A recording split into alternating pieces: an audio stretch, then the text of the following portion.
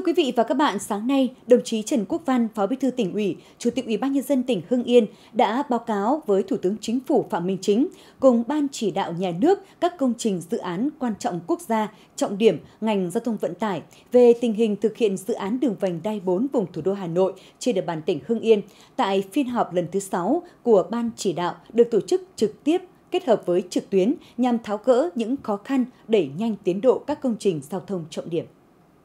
Tại hội nghị, Bộ Giao thông Vận tải đã báo cáo tình hình triển khai thực hiện 24 dự án trọng điểm quốc gia và 75 dự án thành phần. Trong đó, tập trung báo cáo về dự án xây dựng công trình đường bộ cao tốc Bắc Nam đang triển khai. Theo đó, công tác giải phóng mặt bằng đối với các dự án thành phần đã khởi công hiện đã cơ bản hoàn thành phần đất nông nghiệp. Phần đất ở thì đang tập trung xây dựng các khu tái định cư để di rời dân, thu hồi đất, di chuyển hạ tầng kỹ thuật để bàn giao mặt bằng. Việc cung cấp các mỏ vật liệu phục vụ thi công cao tốc đã có tiến triển tốt. Đến tháng 10 năm 2023 sẽ hoàn thành toàn bộ việc cấp phép khai thác mỏ vật liệu. Đối với Hưng Yên,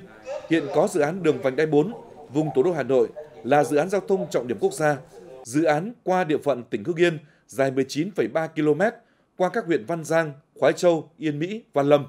Đồng chí Trần Quốc Văn đã trực tiếp báo cáo với Thủ tướng và Ban chỉ đạo về tình hình thực hiện dự án này trên địa bàn tỉnh Hưng Yên. Chậm thì báo cáo Thủ tướng. Thứ nhất là đối với dự án 102 ấy, là dự án giải phóng mặt bằng vành đai 4 thì Hưng Yên chờ các thủ tục của Trung ương mà đến mùng 5 tháng tháng 6 năm 2023 thì mới có báo cáo tác động môi trường của Bộ Tài nguyên thì ngày mùng 5 có thì ngay ngày mùng 7 tháng 6 thì Hưng Yên đã phê duyệt xong cái đó. Thế còn đối với dự án đường song hành 202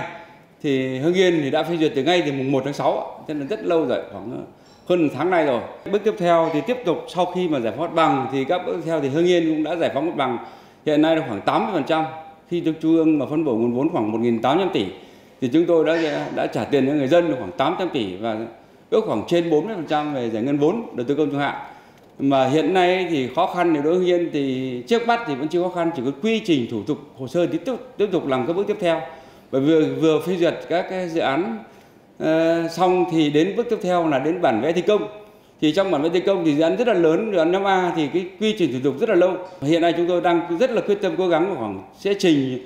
với bộ xây dựng về cái bản vẽ thi công là trước ngày 20 tháng 7 thì cũng đề nghị là bộ công thương rồi bộ xây dựng là không khẩn trương là thẩm định xong cái bản vẽ thi công. Cho Hưng Yên thì Hưng Yên tiếp tục triển khai các bước tiếp theo được. Liên quan là số cái đường điện, chạy qua đường điện như 110 kV và 220 kV và 500 kV thì liên quan đến Bộ Công Thương thì cũng đề nghị là Bộ Công Thương giúp cho cái cái nội dung mà phê duyệt cái bản vẽ thi công. Thì đó là hai nội dung mà liên quan đến Hưng Yên và tình hình giải ngân vốn trước mắt hiện nay thì chưa khó khăn. Nhưng chắc chắn sau này từ dần cuối năm thì không hết cái phần, dần phần phần dễ rồi thì chắc chắn là khó khăn. Mà Hưng Yên cũng giống như Bắc Linh, cũng mắc một số, đó là cái liên quan đến bán đất trái thẩm quyền. Tuy nhiên là diện tích này nó không có nhiều,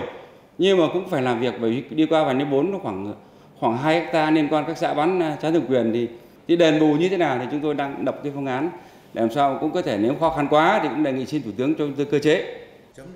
Phát biểu chỉ đạo tại phiên họp thủ tướng chính phủ phạm minh chính nhấn mạnh các bộ ngành địa phương nhà thầu phải phối hợp tháo gỡ vướng mắc tập trung thi công 3 k 4 kíp để công trình đảm bảo tiến độ hoàn thành đúng kế hoạch. Đây cũng là giải pháp để mạnh đầu tư công kịp thời đưa nguồn vốn vào thực tế, tạo khí thế động lực cho phát triển kinh tế xã hội của đất nước.